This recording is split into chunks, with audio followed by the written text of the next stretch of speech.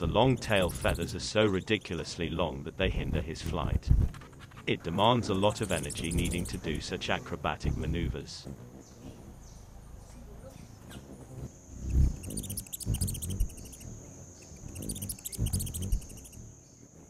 Sylphs are solitary birds found mostly in Colombia and Ecuador.